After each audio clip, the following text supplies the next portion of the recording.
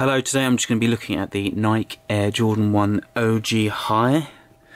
This is the Court Purple colorway. They often are called the Metallic Purple, but they are actually the Court Purple. I'll just quickly show you the box. Uh, it does basically, the colorway does match the box, which is pretty cool. They gave basically a special edition box on these. Uh, don't know if you'll be able to see on this, but uh, See, it does actually say High OG Court or Court Purple. So not a metallic purple, I guess that's just like the nickname for these. But yeah, pretty cool box, white and purple, white metallic purple box. So these released in 2021, a re-release from 2009, uh, which is then uh, a re-release from the metallic Air Jordan ones, which uh, released in 1985. There's a variety of metallic colours. I think there's a blue, red, green, the purple, black, orange, quite a few different metallic uh, Jordan ones, and it basically features this colorway style, the uh, all white body with the metallic uh, collar and swoosh and wing logo. Um, the 2009 pair, frankly, looked quite bad. Uh, for example, the leather was apparently much worse. Uh, they had like a Jumpman logo here on the back, a purple tag with a Jumpman logo, so kind of like a uh, like a Jordan mid style for some reason. I don't know. They didn't really know what they were doing back then. The swoosh on this pair is much smaller than the 2009 pack. Same with the wing wing logo, um, kind of matching more of the original silhouette from 1985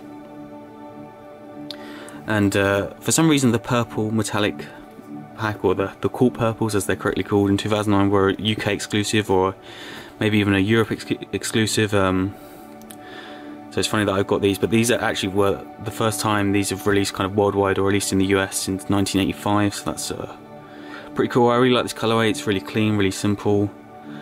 Um, they did come with purple laces as well I'm going to keep the white laces just because uh, I don't really know what to wear with the colour purple. The colour purple is kind of awkward, right? So I'm not sure what to wear them with. I'm going to keep the white laces in, just makes them a bit easier. I'll just guess wear them with neutral colours. Uh, the largest size was a UK 9.5, so that's a UK 10.5 in men's. Uh, fine for European people. sort of matches the men's sizes anyway, really. They're an all white leather. The leather isn't too bad. Let me. As you can see, it's got this kind of like tumbled leather all over. I don't know if that's good. I don't know if that's bad. These frankly do feel like they're going to crease really easily. Um, but the leather's okay. It's like an all leather, all leather body, all leather tongue. And the purple is like a shiny patent leather. Satin on the inside, because that is like what they do with um, the female Jordan ones basically. It's a satin interior, which to be honest you, I don't really have a problem with because it's like nice and soft.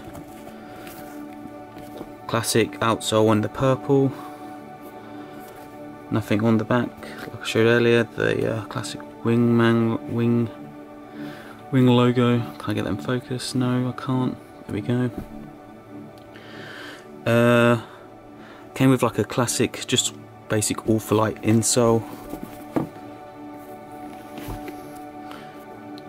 The 2009 pair, maybe not be able to tell on camera, but they actually had a darker purple. It's kind of like a sort of a bright, much brighter purple in person. Kind of like it pops a lot more than it does on camera.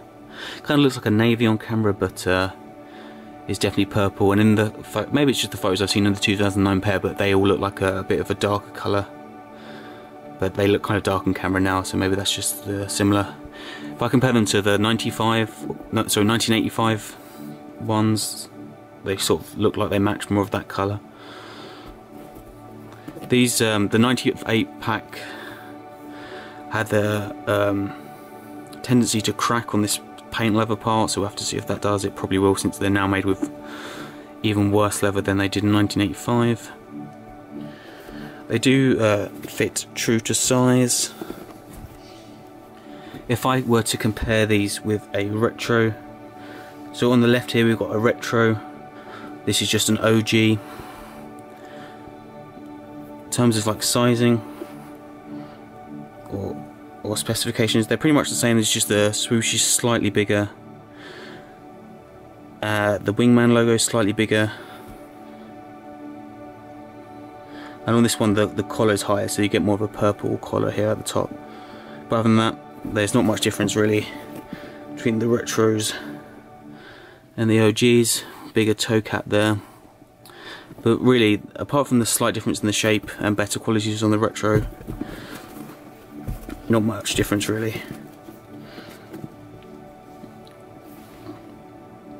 So yeah, I'm going to just uh, lace these up and put them on feet right now.